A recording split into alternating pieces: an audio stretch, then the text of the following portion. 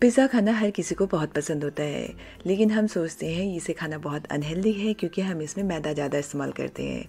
तो आज मैं आपके लिए लेके आई हूँ हेल्दी रागी पिज़्ज़ा की रेसिपी जिसमें हम चीज़ का इस्तेमाल कम करेंगे सब्जियों का इस्तेमाल ज़्यादा करेंगे।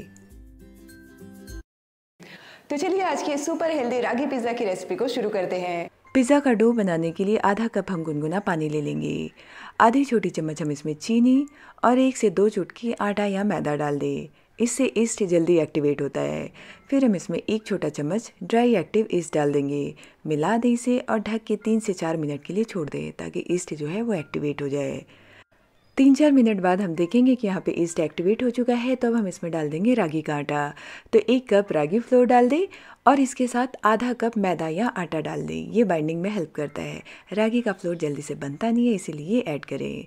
आधी छोटी चम्मच नमक डाल देंगे और इसके बाद इन सबको अच्छे से मिला देंगे। तो अगर आप मैदा का इस्तेमाल नहीं करना चाहते हैं तो उसकी जगह आटा डालें और इसके बाद इसे ऐसे गूँध लें।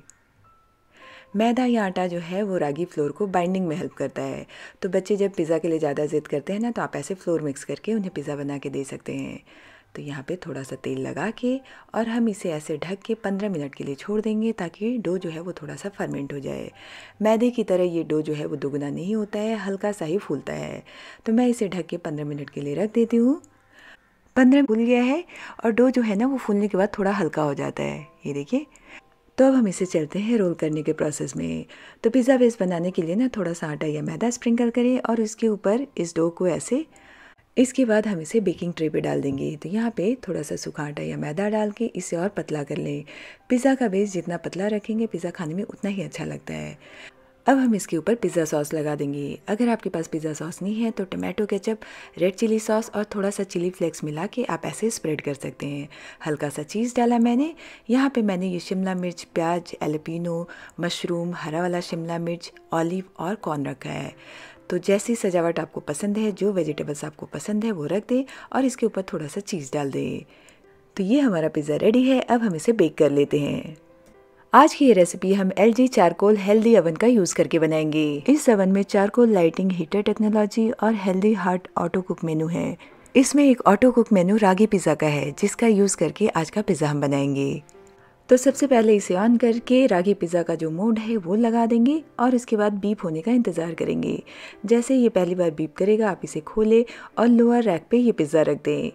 पिज़्ज़ा रखने के बाद हम अवन को बंद कर देंगे और वापस स्टार्ट का बटन ऑन कर देंगे। थोड़ी देर बाद ये खुद ही एक बार बीप करेगा। तो जब दूसरी बार बीप करेगा ना, तब हम इसे खोल के और जो पिज़्ज़ा है, उसे अपर रैक पर ट्रांसफ़र कर देंगे।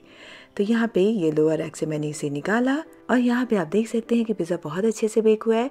तो लास्ट वाले बीप के पहले हम इसे हाई रैक पे रख देंगे।